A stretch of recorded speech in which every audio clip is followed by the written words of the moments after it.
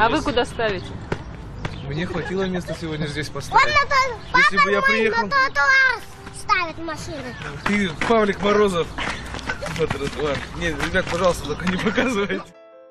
Таки шалом, братья Гои. Вы наверняка слышали в своей жизни имя Павлика Морозова. Если нет, скорее всего, вы еще слишком молоды. Вообще, в данный момент Павлик Морозов, как и, например, Чапаев, стали объектом шуток и анекдотов. Как вам, например, такой юморок от Григория Остера? В пионерской дружине имени Павлика Морозова 300 пионеров. Все они мечтают повторить подвиг Павлика, но не все имеют такую возможность, так как две трети пионеров воспитывают матери-одиночки. Если вдуматься, то шутка является весьма черной, как мне кажется. Но все-таки, кем же был Павлик на самом деле? Сейчас, конечно, он не так знаменит, как в советские годы, однако наши родители, бабушки и дедушки отлично помнят этого персонажа. На деле же Павлик Морозов был культовым героем. Его имя занесено в книгу почета Всесоюзной пионерской организации под номером 001. Советская пропаганда разносила имя мальчика как могло, создавая из него пример для всех детей и подростков. Так вот, кто ж это вообще такой? По официальной версии 25 ноября 1931 года Павлик сообщил следствию о том, что его отец, будучи председателем сельсовета, занимается подделкой документов и их продажей кулакам-спецпереселенцам, что позволяло им покинуть место ссылки. Трофим Морозов, отец Павлика, был арестован на следующий день после сыновнего доноса и осужден на 10 лет. Ну, правда, отпустили уже через 3 года. Также Павлик Морозов, как сообщается, систематически доносил на кулаков, укрывающих зерно от государства. Поступок пионера, донесшего на собственного отца, активно пропагандировался как торжество приоритета классовых интересов над семейными ценностями. Об отважном уральском орленке, геройски павшем в борьбе с кулачеством, писали книги, поэмы и песни – на его примере воспитывалось не одно поколение пионеров. Кстати, в постсовке Павлика люто возненавидели и называли Иудой. Так при него вышла аж целая книга «Доносчик 001» или «Вознесение Павлика Морозова». А группа Крематорий написала про него песню, в которой наш герой представлен как неистребимое вечное зло, от которого все наши беды. Так, ну а теперь по порядку. Место действия – Герасимовка. Это такая деревня. Со всех сторон окружена болотами и лесами. Жить в русской деревне в 30-х годах 20 века занятие весьма нелегкое. Дело в том, что деревня находится на Урале. Урал – это место ссылок в то время. То есть деревня находится буквально на краю света. Люди в деревне были самые обычные крестьяне. Они не хотели учиться грамоте, понятия не имели, что такое большевики и чем отличаются красные от белых. Грамоту они в буквальном смысле презирали, ибо нече книги читать, надо поле пахать. Понять их можно, жили они весьма и весьма бедно. Естественно, ни о каком коммунизме в той деревне и речи не шло. Лозунги большевиков, конечно, доходили и до туда, однако жители максимально активно сопротивлялись изменениям в их укладе жизни. В светлое будущее стремились в основном дети, которые мечтали стоять в одном ряду с пионерами. 14 ноября 1918 года в семье Татьяны Байдаковой и Трофима Сергеевича рождается сын Пашка. Трофим был главой местного сельсовета. Как водится, пил по-черному и по-черному бил жену. Брал взятки с сосланных кулаков за всякие справки и подделку документов. Документами были в том числе и хлебные карточки. То есть в сухом остатке Трофим Морозов бухал, бил мать Павла Морозова и воровал еду у соседей.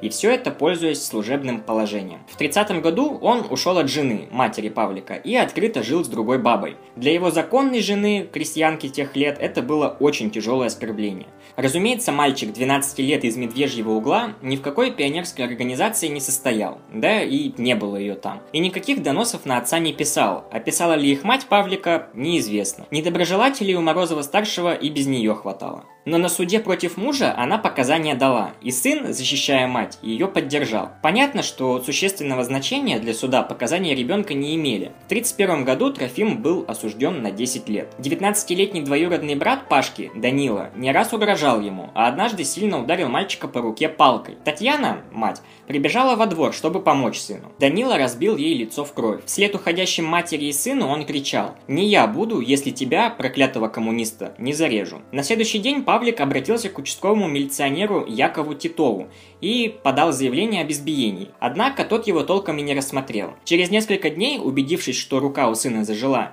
Татьяна на три дня отправилась по делам в райцентр в Тавду. 2 сентября 1932 года, то есть примерно через 9 месяцев после ареста Трофима Морозова, Павел и его восьмилетний брат Федор отправились в лес за ягодами и не вернулись. 6 сентября односельчанин нашел в осиннике их трупы с многочисленными ножевыми ранениями. Мать братьев описывает события этих дней в разговоре со следователем так. 2 сентября я уехала в Тавду, а 3 Павел и Федор пошли в лес за ягодами. Вернулась я 5 и узнала, что Паша и Федя из лесу не вернулись. Я стала беспокоиться и обратилась к милиционеру, который собрал народ и люди пошли в лес искать моих детей. Вскоре их нашли зарезанными. Не могу не отметить и того, что 6 сентября, когда моих зарезанных детей привезли из леса, бабка Аксинья, это мать Трофима Морозова, встретила меня на улице и с усмешкой сказала «Татьяна, мы тебе наделали мясо, а ты теперь его ешь». Суд постановил, что убийство совершили отец Трофима, дед мальчиков Сергей Морозов, и их двоюродный брат, 19-летний Данила –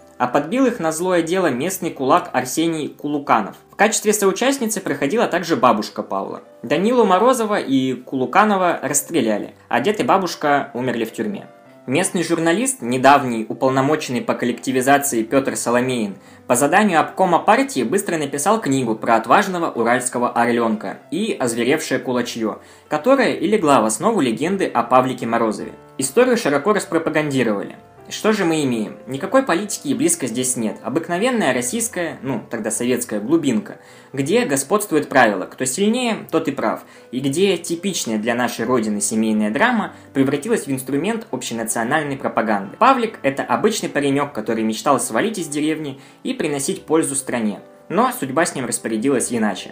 Хотя, если вдуматься, то в какой-то степени парень таки приносил пользу своей стране. Ну и кто досмотрел до этого момента, есть еще парочка забавных вещей. Например, у Павлика нашлись последователи. 16 марта 1934 года «Пионерская правда» опубликовала письмо Оли Балыкиной, начинавшееся словами «Довожу до сведения органов ОГПУ, что в деревне Отрада творятся безобразия», и заканчивавшееся я вывожу всех на свежую воду. Дальше пускай высшая власть делает с ними, что хочет.